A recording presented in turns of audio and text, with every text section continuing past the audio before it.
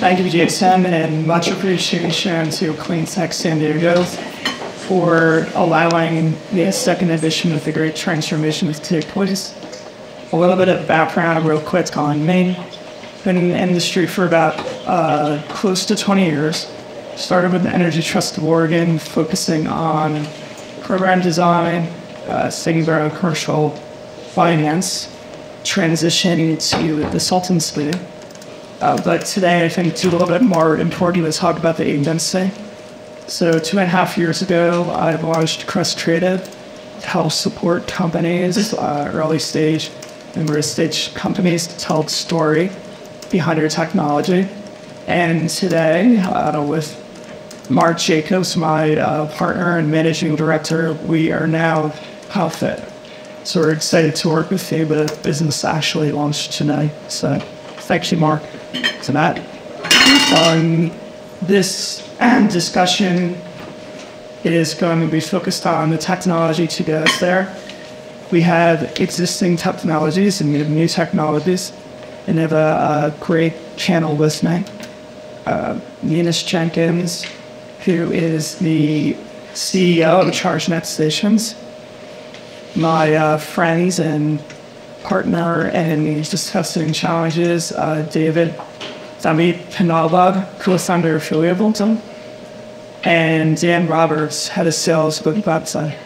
So I'll um, offer you to talk a little bit about their companies, and Venus will start with you. Repeat. This one? Yeah, Yeah. Uh, thank you, Robert. Uh, Venus Jenkins, CEO and co-founder of Charge Stations. Um, we are EV charging developer and operator in a very specific market segment, and that is QSR, quick serve restaurants, or also known, well, know, know them as fast food restaurants. Why we selected this specific market segment? As us Americans, we love fast food. Uh, 100 million Americans eat fast food at fast food um, every day, and just California alone has 37,000 restaurants. So these are quite strategic locations, uh, close proximity to on ramps, off ramps, and, and built-in customers. And that's the market segment we have selected. Uh, along with our fast chargers, we also deploy battery storage.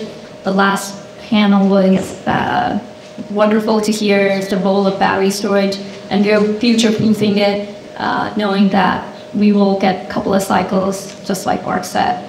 Um, so, but primary focus is on EV charging uh, development and operations. Thank you. Uh, hi everyone, my name is David Penalva. I'm the co-founder of HelioVolta. Uh, we're the creators of the SolarGrade, which is a fieldwork lab and uh, advancement platform for the, the our industry. Uh, SolarGrade uh, helps uh, field technicians and solar professionals to streamline their day-to-day work on uh, digitize their on-site experience, uh, creating a new layer of data that complements performance uh, performance data. Um, the way I like to explain to people is that we're trying to create the Carfax of solar, so the solar facts. Um, you a just based on the mileage of the car. You wanna wanna look at the car. You wanna see if the car has been maintained properly. Have any recalls. Uh, similarly, uh, the solar industry buys and sells uh, solar assets purely on based on performance data, uh, without really understanding the underlying issues that a lot of those assets might have, uh, which lead to, you know, data that gets collected by field technicians that are there every day and see the, you know, the real, the real products from these projects. Um, yeah, as Dio that we, we funded the company uh, almost three years ago. Uh, we launched our software uh, platform, uh, SolarGrade, uh, one and a half years ago after winning a solar software contest, uh, contest organized by the Department of Energy called the American uh, Bay Challenge. On yeah, we're part of the Southern California Innovation Network. Uh, super excited to be here on yeah some of our uh, some of the largest uh, O&M EPCs on asset owners and technical advisors in the industry use our software today. Thank you for having us. Thanks, David. Uh, Dan Roberts, head of sales for Veckta. And Veckta is a software platform uh, purpose-built to help large commercial and industrial businesses plan, here behind-the-meter systems, on-site systems, goods, as a preferred term. Uh, we're typically working with uh, companies that have dozens, hundreds, some cases thousands of facilities scattered around the country or the world. And the biggest barrier for them adopting um, behind-the-meter systems has really been around uh, uh, getting the organizational uh, buying decision going. And so we really focus on helping them determine where do they focus their time and efforts across this vast portfolio of facilities at the highest value facilities when accounting for energy prices, incentives, uh, grid carbon intensity, variety of other factors. What, uh, what is the optimal system to build at the highest value sites? And then when they identify strong business cases and they get buy-in across the organization, uh, helping them determine which partners uh, they should partner with to finance, build, provide the equipment for these systems. So we're stripping out a vast amount of the, the soft costs associated with deploying these systems um, and accelerating on the timelines. It's great. Thank you, Dan. Um, by happenstance, you're serving my uh, preferred market segment, the most complex one from my vantage point. Uh, C&Is lagged residential and utility, right? But uh, what opportunity does Veckta see in the segment that's driving your innovation? Yeah, I think I appreciate the acknowledgement of the, the challenges in C&I. We see the same thing. Uh, got some stats that I share with people sometimes around across the U.S. For it's about four percent penetration uh, in residential. Uh, last year, I believe over 50% of, of new capacity that came online was renewable. Yet, uh, bigger uh, a half percent in C&I. Um, so it's pretty pretty dismal and a huge opportunity. We see uh, the biggest opportunity in, in driving outage forward is always in the fundamentally economics. And as much as large corporations are the ones that are driving the net zero by X year, um, we rarely, uh, and, and I don't like to use absolutely, so I use the term I see projects moving forward that aren't going to bring down their energy costs. So that means that we are largely helping companies identify where there are um, high energy felts, so pretty pretty easy to, to identify, but where are the incentives, where are there opportunities to uh, optimize the interaction with the grid so there's not a lot of insertion of the broader grid. It was interesting, Mark brought up um, in, I it was summer in early September of 2022, the role that demand response play. I think that that's a huge opportunity for businesses to participate in that, but they can't participate in those programs if it impacts operations. So deploying on-site generation and storage allows them to participate in them. So I think the biggest piece for us is, is with as little information in or as little effort from these businesses, highlighting the opportunities and then delivering metrics that sit across finance, procurement, operations, sustainability in order for them to make these what we call one-way or, or one-way door decisions. Uh, and so that's the component is ensuring these products can move through the capital filtrations cost efficiently. Just gonna ask you a quick follow-up, easy question on top of that. So obviously the cost of energy was rising. We're trying to mitigate risk, but at the same time we had this low inflation rate for many years, and now the cost of capital is rising. How are you finding that in your seat as head of sales and trying to convince people to make these decisions in this kind of environment? And uh, the, the tailwinds of rising rates are probably stronger than that of the uh, interest rates. Uh, we also help as uh, across the variety of different commercial structures, uh, whether it be then, in some cases, very cash-rich organizations that are willing to cash all the incentives themselves, uh, where the debt vehicles are really more towards PPAs for these on-site systems. Um, I think the biggest piece is when we look at a company that has, say, 150 facilities scattered around the country, there are going to be some great gems within there eh, in order for them to get that organizational buy-in. We're also seeing companies increase their typical payback period for these projects. So whereas normal capital projects, you have a sub three or sub three year payback period, if there are emissions reduction opportunities, we're seeing, and in some cases, as high as a 10 year threshold to get some of those other ancillary benefits beyond just the, the cost savings. So I think the rates are going to continue to, to help. Andy, you touched on it. I mean, it's uh, uh, the, the increase in rates create a good environment for those that are helping deploy uh, DER. Thank you, Tim. Uh, Venus, we were talking a little bit before this panel got started. EV mobility, obviously, in the state of California, and California is al- almost always at the lead of technology adoption and our vertical. Do you think that EV mobility and the work that you're doing should be a catalyst for change? Do you see it driving change in project development? Absolutely.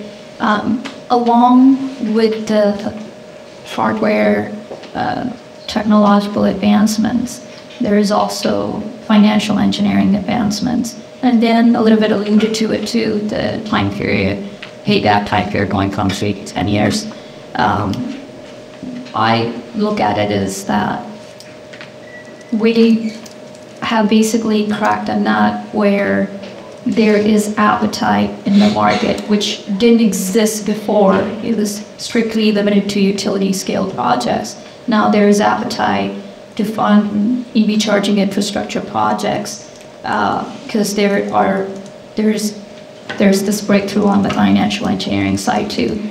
Um, there is interest in looking at long-term payback on these projects. Uh, so yes, uh, three years ago when we started this company, uh, we, we learned quite a bit and we have gone through multiple iterations of uh, real estate transaction as well as financial engineering transactions. And finally, in the last nine months or so, uh, we feel like, including the inflation rate too, we feel like now we have uh, project mechanics and project finance in place uh, that makes the end user or off-taker comfortable. Uh, so there's that piece that we usually don't talk about when we're talking about technological advancements. There are financial engineering advancements as well. It definitely plays a role. Um, when I was looking at your website, um, I really liked we turned the parking lots into profit centers. That kind of sounds compelling. Can you talk a little bit about the role of opportunity in moving projects forward and having came up with that? Absolutely. So uh, our company started uh, right before COVID, and timing matters. Uh, and not saying that COVID hit, and that's what how we came up with this. Um, but the the idea behind that was when we looked at the QSR market, the fast food restaurant market, we saw early signs that their parking lots were highly underutilized. That's underutilized real estate. Um, and then COVID happened. That most of the revenue was primarily driven through their drive-throughs. As high as 75 to 80 percent of the revenue was coming through drive-throughs. So now they have these mandatory parking lots with 16 to 20 parking spots uh, that are not revenue generating at that point. So when we looked at these real estate locations and being so strategically located uh, for EV adoption as well, uh, that's how we came up with this CATSI thing, uh, converting parking lots into profit centers. Um, so we lease six to eight spots uh, from the QSR, and in, in, return they get a site use payment. That's great. I really like uh, the way you're using that to get the business going. David, and it's good to see you. Brought Brian with me since he was not coming. So it's right here in my socks. I'm, glad that, that he's on your socks. Uh, David, we got to know each other through a joint initiative with um, Andrew, and my colleague, director of consulting at Mayfield Renewables, working with Megger on the electrical testing standards guide. Can you talk a little bit about the human element of technology adoption? Because uh, your software plays a big role in that, right? Yes, uh, sure. So the way I like to put it is that we're in the AI era, but you still have to call your plumber if something breaks in your house. So I think you know we still are gonna have to. We still need people, um, field technicians, the professionals that are uh, you know out there just fixing a lot of the issues, uh, dealing with downtime, dealing with problems with inverters. On not only that, but how do we tackle problem actually quadrupling the capacity of the you know, U.S. grid in renewables in the, in the next 10 years? Will that have to need disqualified personnel? Will have to be consistency training? So that's what we are kind of going after from you know the software perspective. How can you use technology to enable uh, the labor force to work more consistent, um, you know, more efficient, and in the end, kind of being able to resolve issues faster, which improves that, um, you know, uptime by reducing that downtime. I appreciate that. Um, we were talking earlier this fall, and I was learning your story over dinner, right? You were talking about the journey with SolarGrade. Uh, can you talk a little bit about where you started? I mean, I know there's a, a much longer story, but Yeah. you must have a lot of conviction and passion and belief in the value of the tool and the problem there. So, Yeah, so everything started with uh, this idea uh, when I've, I've been working in the solar industry for over 15 years. I've been down in the trenches, uh, designed a lot of systems myself, been on site uh, many, many times. I did a ton of work all over the world with solar projects. On um, it came down when I started seeing a lot of problems. People call you when they have problems. Uh, I got un- unfortunately engaged in uh, huge litigation due to a bunch of thermal events on solar systems. And that really kind of got me going on understanding what was the root cause of a lot of these issues. And especially when you devote your professional life to work in the solar industry and you see a fire and that makes the press and everyone's talking about how dangerous solar might be and you know you don't want to have solar on your roofs because it might catch fire. Similar what similarly what's happening with the EV industry right now. Um, that really of you know can be going is like okay how solar is extremely safe technology uh, when built properly. Uh, it needs to be properly QA. You know, QA QC is very important as part of the process. It needs to be properly installed. How do we leverage technology to make sure that the process is flowing? And that's really what uh, you know um, made us kind of come up with these ideas. Like how can we leverage our knowledge for everyone else to, to you know to be able to use it in into the day-to-day use. I'll pose this uh, question or conversation to all three of you.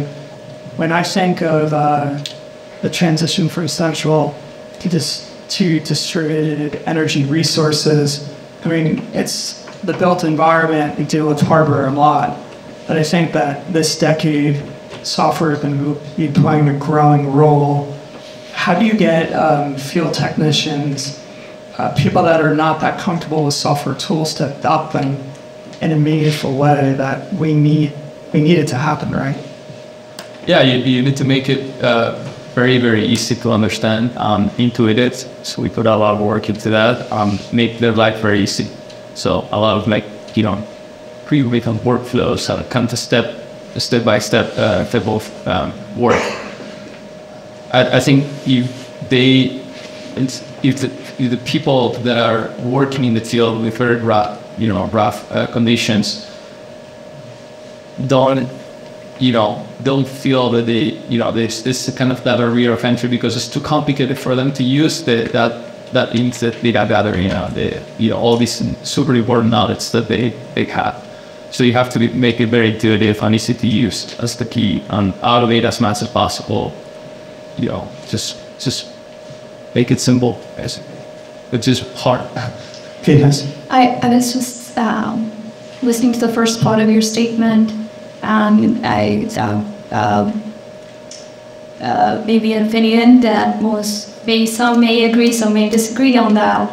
That software is going to play a big role. That is given. but I think in the next 10 year, infrastructure is going to play a significant role. Um, some of our early learnings uh, starting this company was we started out as a SaaS company. We have a software layer that integrates uh, battery storage and chargers, and then also uh, point of sale integration for single transaction for the end user. So that is an incredibly cool concept, but deployed on what assets, what hardware that didn't exist. The chargers and battery storage coupled together did not exist. So we had to build that first site. So I just wanted to highlight um, that infrastructure that we are building software for, that still has to scale. It, that hasn't scaled yet. Um, and yes, software, as I said, uh, for us, um, we take great pride in making it as user-friendly as possible, the end user-friendly. So we have a huge software component too. So those are just my two cents on it. I think, uh, Dan, before I give it to you, I think that makes great sense. Um, I think what I'm more talking to is the connectivity and integration that you're speaking to. Um, and hardware without software is becoming increasingly problematic. But Dan, you're going to Yeah, I was going to build on these stuff. Where we pass this to the companies that work with is that all the software in the world that you use a lot, like are planning or carrying, none of it means anything until. Uh, I agree that uh, there is going to need to be a software component so that these are not, uh, in the term dumb systems, these are not systems that are just um, purely producing and exporting, and they're participating in and transfer rates, participating in great services, and we ultimately get to a point where businesses and, and likely residents, is a, a bigger, are uh, being prosumers. Uh, and then there's a the whole new paradigm of then how we uh, not just consume from the grid, but we're active participants in the grid and, and software to feed upon all that. I think uh, another challenge here is complexity, right? So we're a lot of us here are drawn to complexity, but uh, the general public often is not. And the rate of adoption of technology, I think simplification matters. Can Dan, can you talk a little bit about when you're presenting the value proposition? How do you how do you simplify all that we're trying to do?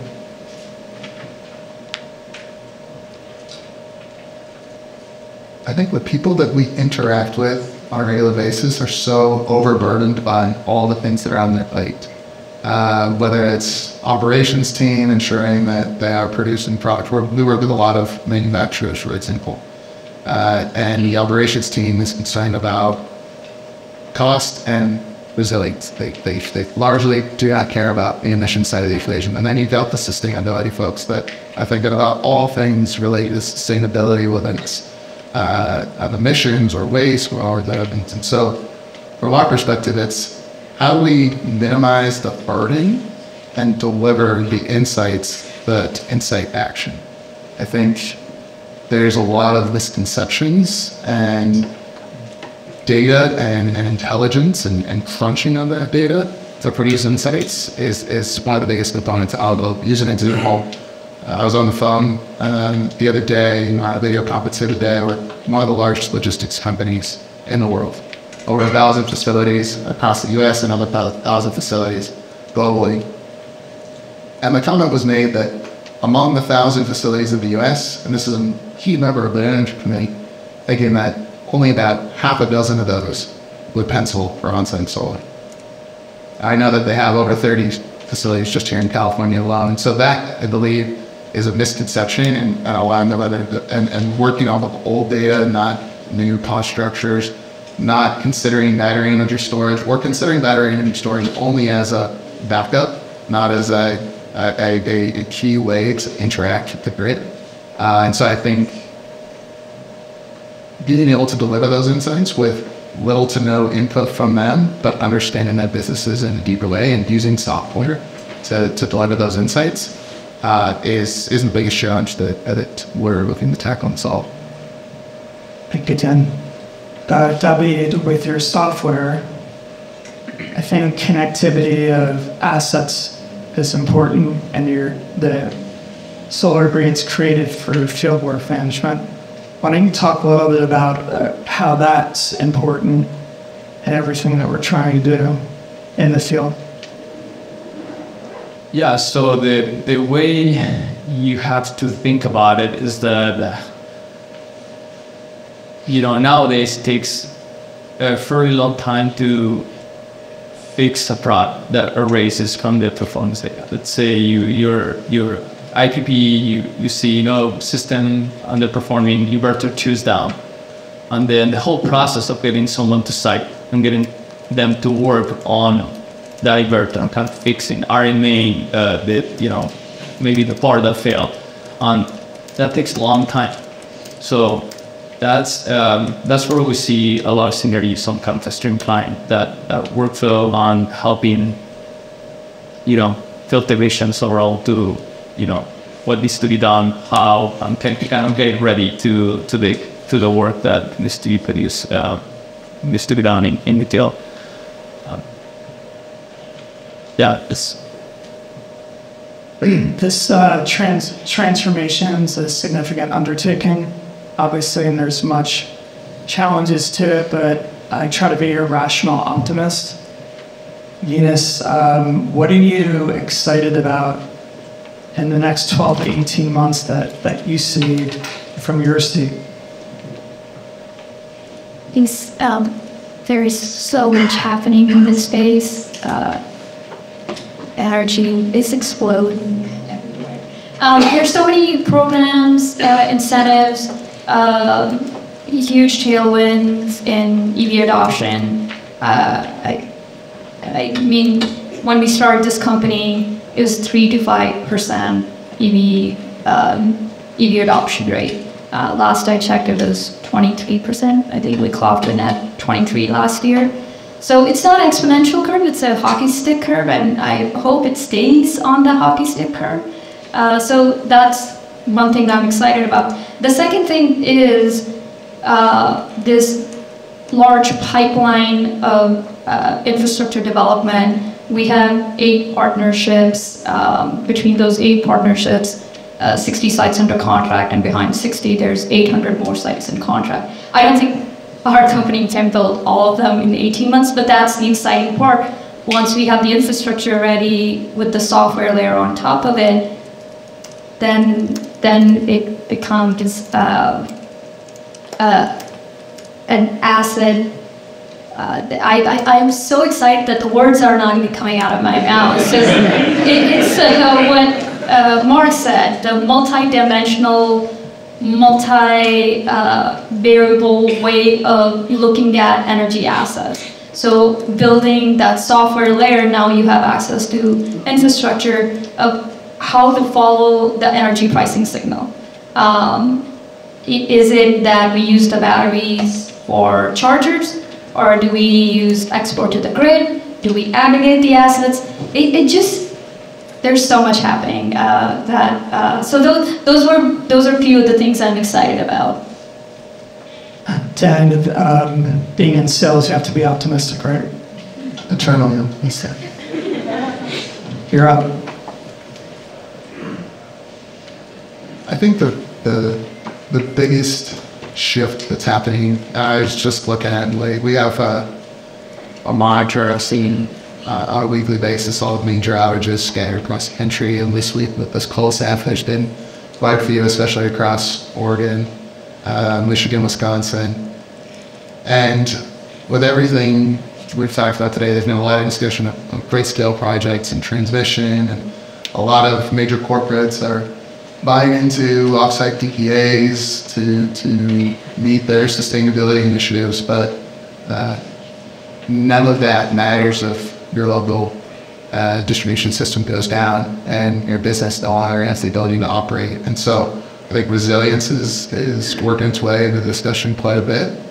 And uh, doing any of these activities, not considering on-site generation and storage, um, does not give you those operational benefits. And I think companies are waking up to that and also figuring out ways, and I'm certainly helping with this, but figuring out ways to factor those those risks and those costs in to the business case in order to, again, get that organizational investment decision making.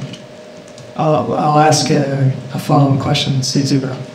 So um, that's part of the reason why I like mid-market solar at CapEx and OpEx. Are you, do you think we're at the point where mitigating risk is becoming material on these decisions relative to payback period? It's beginning. It's early, but it's beginning. I'm counting on you to sell. Yeah, no, it is. Uh, it's, it's a combination of, of that clear, tangible outage risk, and, it, and unfortunately, nobody believes it's going to happen to them until it happens. And then it's a big, everything's on fire, we need to, we need to solve this now. Uh, good example, we just had, uh, we did some work in the wine industry. It's interesting.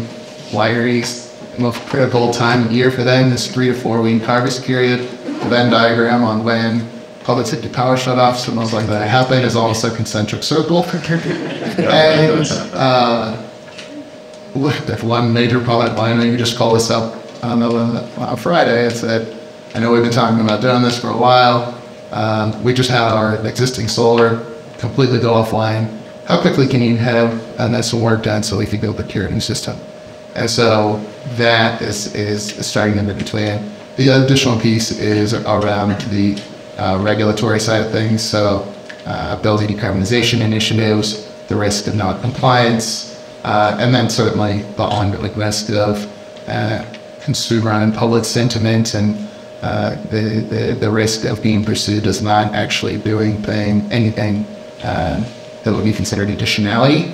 So uh, the, the, the carbon markets uh, and creating this, uh, this environment where actually building assets will it'll gain a lot in the, in the field of public opinion.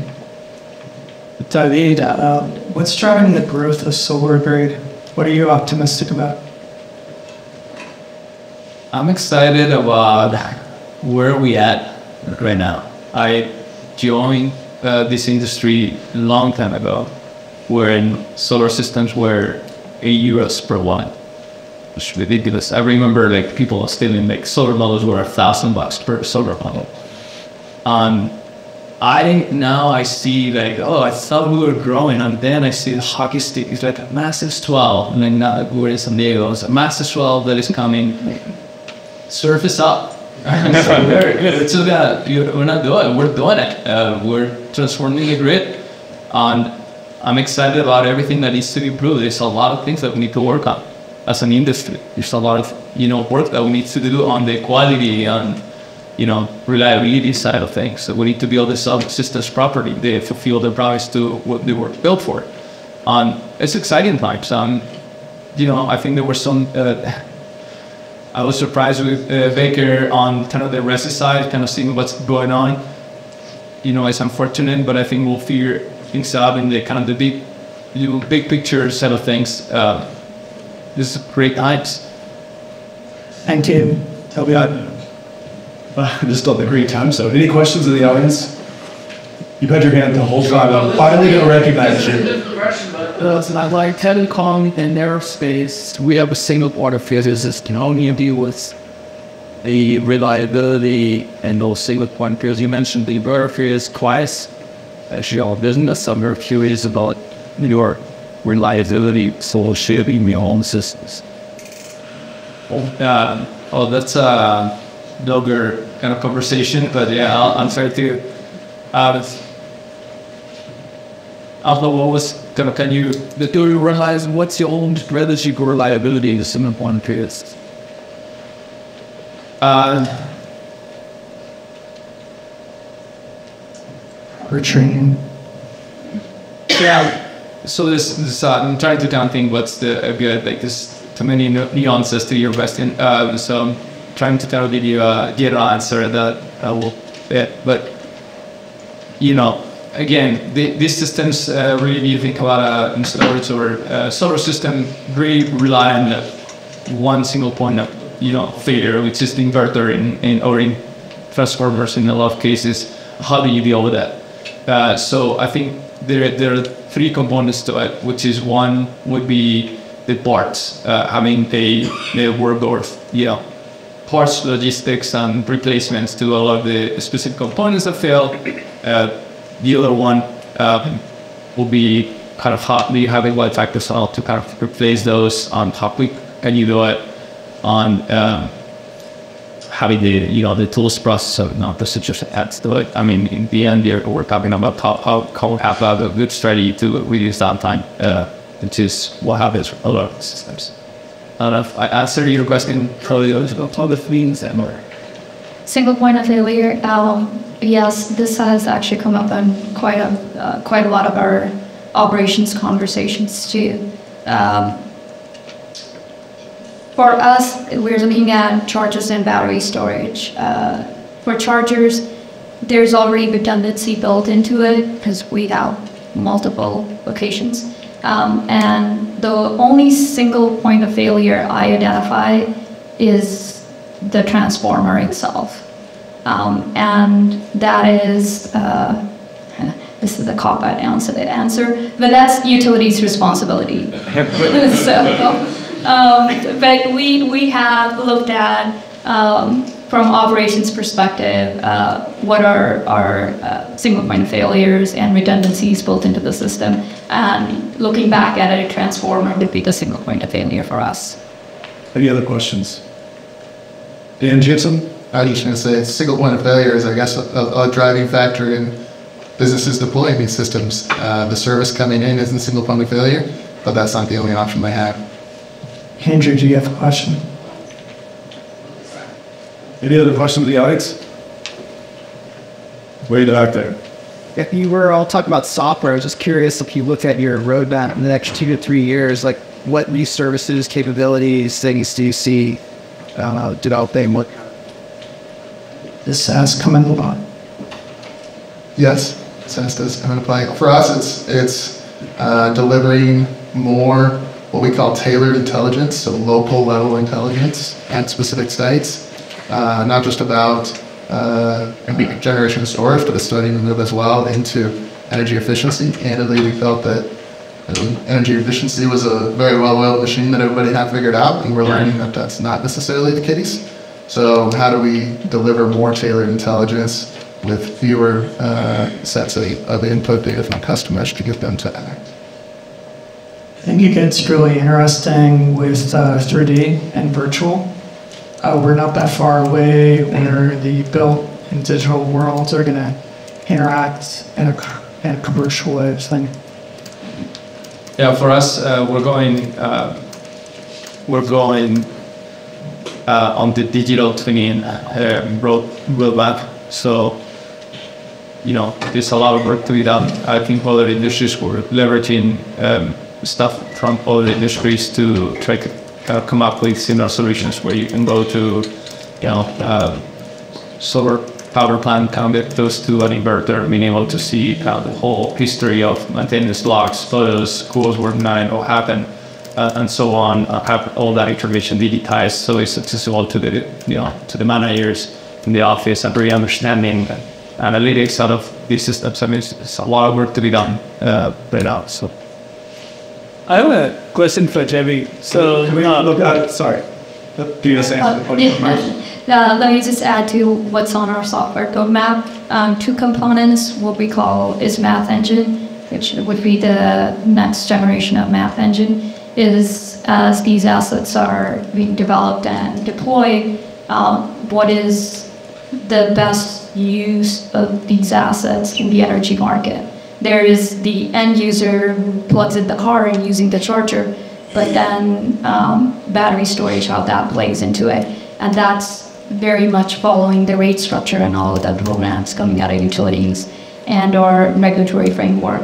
Um, so that's one part of the software, and it's highly complex. And then the second one, which is a bit more fun side, is the point of sale integration, and that is loyalty programs. So, for example, as a Taco Bell, if you're charging your car at a Taco Bell, um, you can have a coupon for a burrito that you could redeem inside. So that's the, the fun part of it. Gamification. Yes, gamification. So that's uh, also on our software. All right, last question, you can brief. uh, yeah, so uh, just uh, uh, to ask you, how does your software exactly uh, improve the O&M experience, right? So we own and operate commercial solar assets across California. And you pointed out the biggest issue is the truck roll, RMA, uh, replacement and stuff. So how does your software speed up the process or optimize it? Digitizing data is one thing, right? Guys use Salesforce today, right? Yeah. But how do you, where's the value add coming in your uh, business model? The, the value add uh, comes from uh, two different sources. One would be making the life of the field tech uh, more effective when they're on site. In the end, if they are doing work for you or for any client, they're going to have to collect data and send that data in the format of a report or something to your client. Hey, we did this work. Uh, so streamlining kind of the workflow, uh, also gaining consistency among different uh, field technicians. As you know, there are different levels. Um, not everyone executes the work uh, not everyone has in background, so it's difficult to get that consistency. So with that, you want get consistency. Second, you optimize the process, and then on the back end, uh, all that data gets a structure and adds value to your client. There's now seeing a, a lot of the aggregated data. It's like, oh, uh, do I, am having more issues with these projects that are built by this EPC company? I need to talk to them. I need to figure out why we're having those issues. There's very actionable data that comes out of that work, which is right now really not a lot of company has uh, have access to it to that. All right, keeping us on time. Robert Venus, Thank you. Thank you.